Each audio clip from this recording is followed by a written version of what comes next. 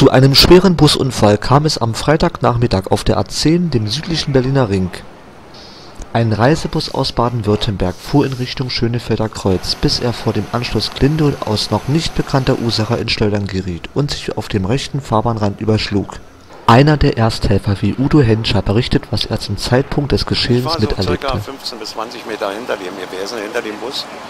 Und äh, der Bus ist auf den rechten Grünstreifen geraten und äh, äh, ist dann ins Schleudern geraten und ist dann, hat sich gedreht und ist auf die Fahrbahn gefallen. Bremsen, bremsen, bremsen.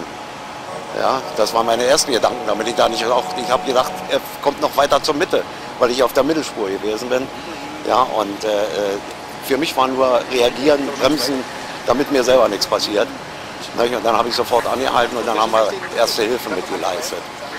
Ein völliges Durcheinander im Inneren.